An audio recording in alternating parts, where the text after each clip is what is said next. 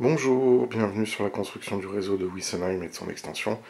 Là, je suis en train de travailler sur, euh, le pont de l'extension et euh, j'ai bientôt terminé euh, de mettre en forme les vallées et de commencer le, le détaillage du pont avec les coursives intérieures.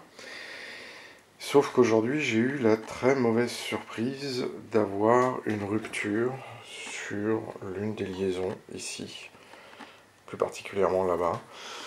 Euh, certainement parce que j'ai dû faire une erreur lors du montage et du coup il y avait un effet de torsion sur le tablier et ça a rompu.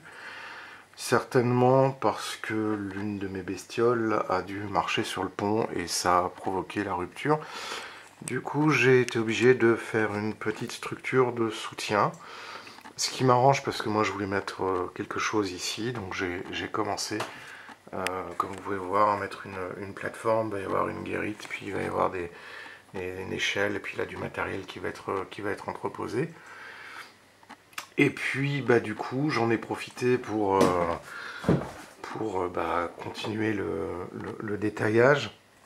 Alors là, on a euh, maintenant, euh, avant que je mette les rambardes, ce qui va être une partie de plaisir infime, euh, je vais procéder à la patine.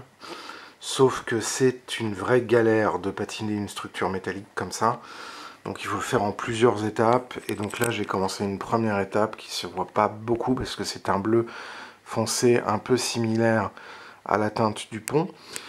Euh, et puis ensuite, après, on va éclaircir, on va venir rajouter des, pointages, des points de couleur euh, en, brossage à 7, etc. Donc là, il est tard la nuit, donc on voit l'éclairage du pont euh, en marche.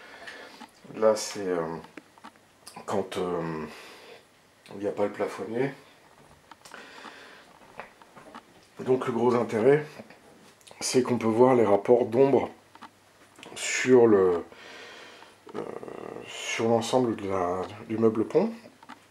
Donc là ici vous pouvez voir euh, que euh, il y a déjà eu une coloration qui a été faite. Alors sur la vidéo ça paraît beaucoup plus jaune que ça l'est réellement.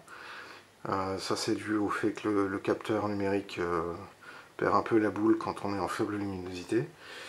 Et donc en face, il reste euh, pareil toute la, patine du sol à faire avant le flocage. J'ai encore euh, une partie là-bas à, mettre, quelques, euh, quelques finitions à faire.